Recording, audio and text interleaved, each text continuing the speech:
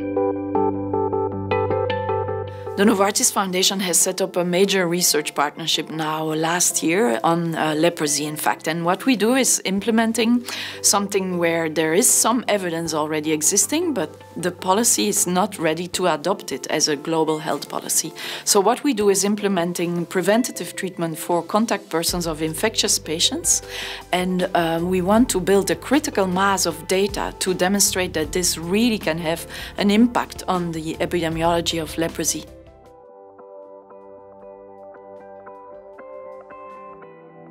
I think in a research partnership, all of these principles are very important. But for us, uh, obviously, the first one, setting the agenda together with all the stakeholders involved and getting their point of view on what they want to know out of this research is definitely crucial. And uh, of course, also because we are um, an organization that wants to build evidence on something that works, we want it to see uh, to see it applied, to see it translated, the evidence we build translated into policy. That is what what we call success for our research partnership. So I think the first and the last um, principles are for us maybe the most important ones, but it also depends on the stage of the research partnership.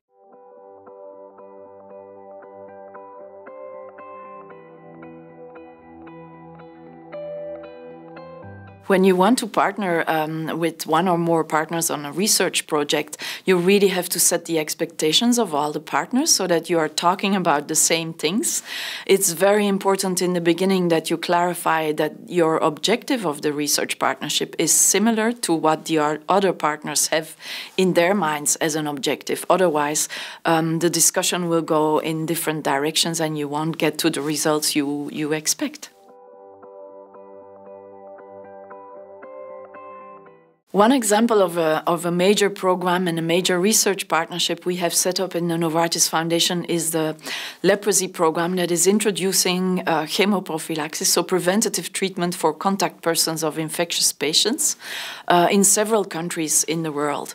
And there, uh, the major challenge was really to talk about the same objective. We had all in our heads that kind of the same objective, but when we had to write it down and to agree on that we really wanted to measure the impact of such a major undertaking, um, we had some differences in, in ideas. And if we wouldn't have clarified that in the beginning, which took a while to get everybody on the same line, if we wouldn't have done that in the beginning, we would never be able to report results in two or three years' time that have demonstrated an impact on the epidemiology of this disease, for example.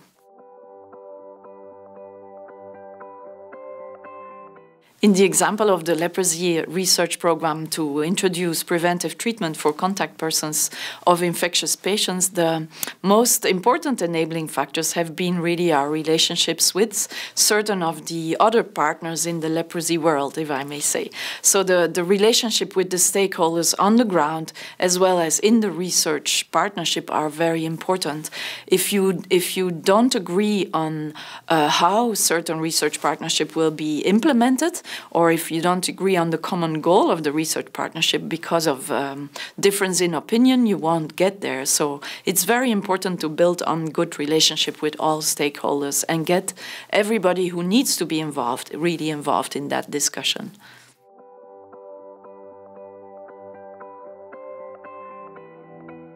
For a new research partnership project now, I think we've learned from, uh, from several previous experiences that the best thing is really to go with a very open mind, very objectively look for the best partner, the best fitted partner. But it's really the most crucial thing that you identify those partners that are most uh, aligned, most fitted for the purpose of the research. Because it's easier to go with those you know already, but it's not necessarily that there's not someone else out there who could do the job better. And we have to always keep our minds open to be innovative also in our partnerships and specifically when it comes to research.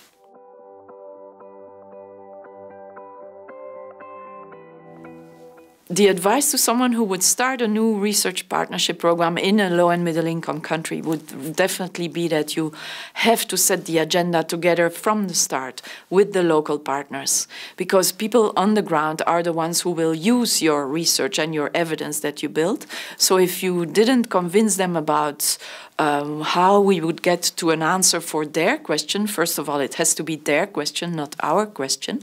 And if we then come to an agreement how we will measure the results of a certain intervention to answer their question, then it is uh, it does have a chance on success. If you don't have that local buy-in and the local ownership from the start, it's the same with an operational program as with a research program. You really need the local partner to take it up as their program.